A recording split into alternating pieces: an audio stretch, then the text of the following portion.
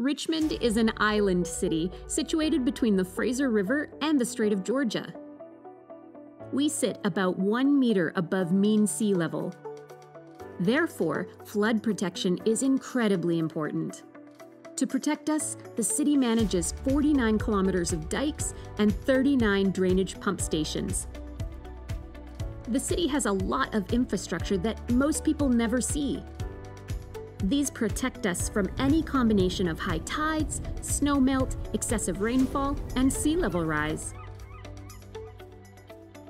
The city has worked hard over the past couple decades to complete a considerable amount of projects and has planned for flood protection for now and into the future.